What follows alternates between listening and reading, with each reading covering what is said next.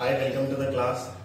In this class, we'll discuss applications of TIR. We'll discuss a relation between refractive index and the critical angle. And also we'll understand how the light deviates through a prism with an angle of 90 degree as well as 180 degree. And at last, we'll understand the difference between TIR and reflection of light. Okay. So let us start. In applications of TIR, we have two applications of TIR. One is sparkling of diamond. So how does the diamond sparkles? Sparkling of diamond. So as we have discovered in the last class that angle of incidence is greater than critical angle whenever TIR takes place. So if that is the case, then light does not move out of the medium. It remains in the same medium and when it remains in the same medium, it reflects back in the same medium. How does this thing take place in case of diamond? What happens when light enters inside the diamond? The edges of the diamond are cut in such uh, at such an angle that when the light strikes that angle, which is the critical angle, in that case the angle of incidence when the light strikes us uh, edges of the diamond, the angle of incidence is always kept greater than the critical angle. So when it is kept greater than the critical angle, the light does not come out but it keeps on reflecting inside the diamond and this is how the diamond sparkles. Now the second is optical fiber. So what are optical fibers and what is their function? So optical fibers are the cables like this.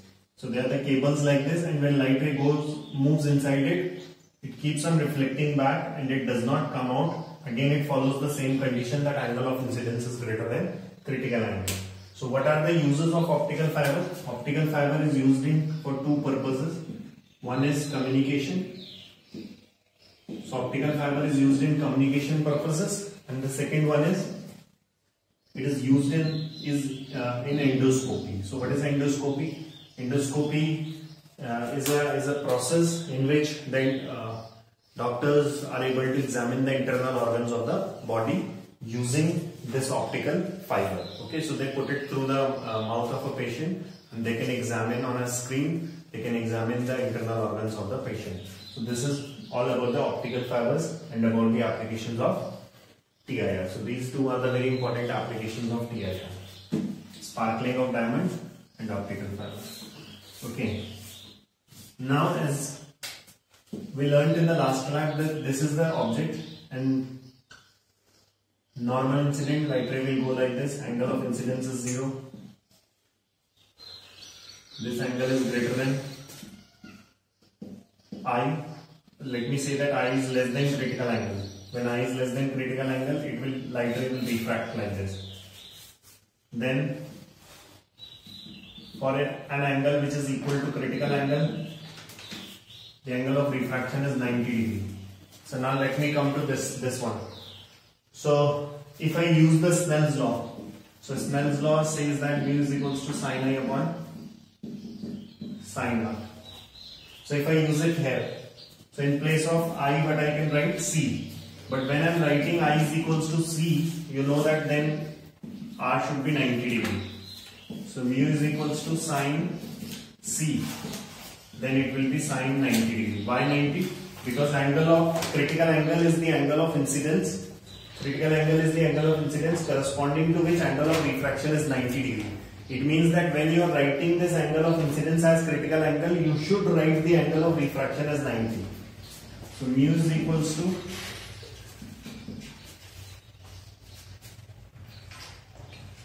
sine c upon and sine 90 is 1. So what happens here? This refractive index we have taken as the light is going from denser to rarer medium. So this refractive index we have taken from denser to rarer medium.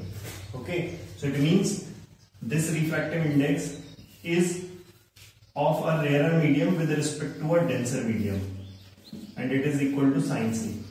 But in actual situations what we do whenever we take refractive index we take refractive index with respect to rarer medium rather than taking it with respect to a denser medium. But in this case, as the light is going from denser to rarer medium, we have taken it with respect to denser medium.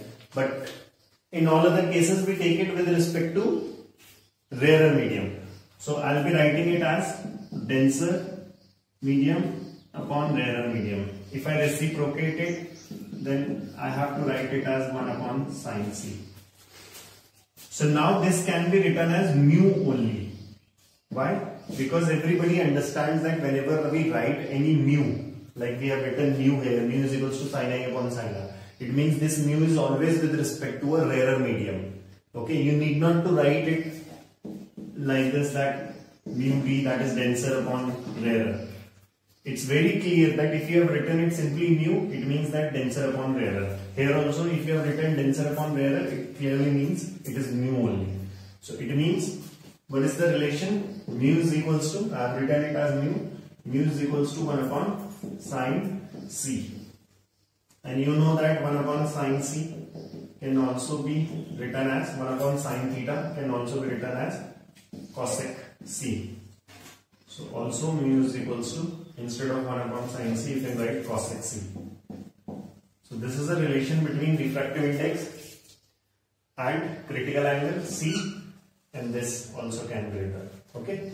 So this is all about the relation between uh, refractive index and critical angle where light goes from rarer uh, from denser to rarer medium. So when we do when we use this Snell's law mu equals to sin i upon sin r if angle of incidence equals critical angle angle of refraction should be 90 degree. So mu is equals to if in place of i you write it as c in place of r you have to write it as 90 degree. So mu is equals to sin c but as I told you this mu is with respect to rarer medium why? Because light is going from denser to rarer medium. But we need refractive index to be written in the uh, with respect to a rarer medium. That is why we have reciprocated it. And when we reciprocal this thing, we have to reciprocal it as well. And this I can write mu only because everybody understands when we write mu, it is always with, with respect to a rarer medium. So mu is equals to 1 upon sin c. 1 upon sin c can also be written as cos c and mu is equals to cos c. So this is the relation. Now let us understand how light deviates through a prism with an angle of 90 degree. Suppose this is a prism, right angled prism. Here the angle is 90 degree. This angle is 45 degree. And this angle is 45 degree. It means it is a right angled isosceles prism. You may find questions of this kind of also in exams when light ray comes like this and they ask you to complete the diagram with all the marked angles. Okay, so we name it as A, B, C. So if I ask you a question, what is the angle of incidence at surface AB? What is the angle of inci uh, angle of incidence at surface AB? So you will say that angle of incidence at surface AB is 0. So when it is doing a normal incidence, the light ray will go straight like this. It will not bend because normal incidence light ray will not bend. Then you will draw normal like this. Now where the light ray will go? Will it come out? Will it move out? Will it go across the surface or will it reflect back? So you know that that totally depends on angle of incidence. If angle of incidence is equals to C, angle of refraction will be 90 degree. If angle of incidence is less than critical angle, it will move out, it will come out. But if angle of incidence is greater than C, then TIR will take place. So it's very important for us to find this angle of incidence. Without uh, finding out this angle of incidence, you cannot find out where the light ray will go. So what you will do to find out this uh, angle? So actually what happens is, you can see two lines here. Which two lines? One line is this AB, another line is AC. So these are the two lines.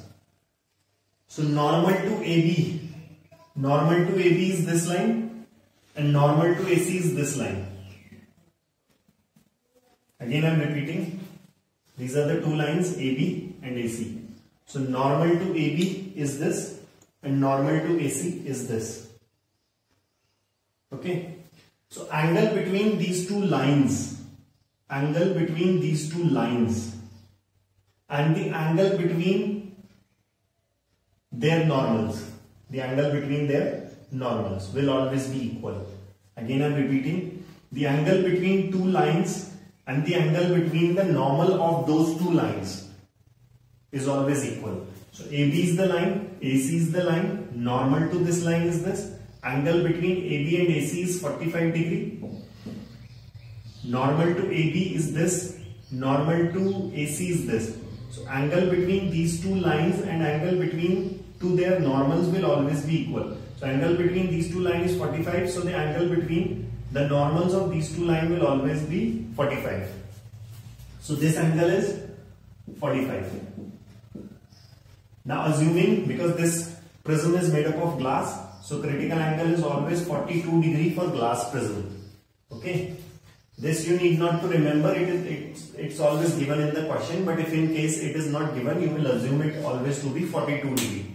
Now you can see angle of incidence is greater than the critical angle and if angle of incidence is greater than the critical angle, TIR will take place, the light ray will move like this. Now when it strikes this surface normally, where it will go? It will go straight like this. So what is the angle of incidence at AC surface? 45 degree. What is the angle of reflection? We know that angle of incidence is always equal to angle of reflection. So this will also be 45 degree. So by what angle the light ray is deviating? It is deviated by uh, an angle of 90 degrees Okay.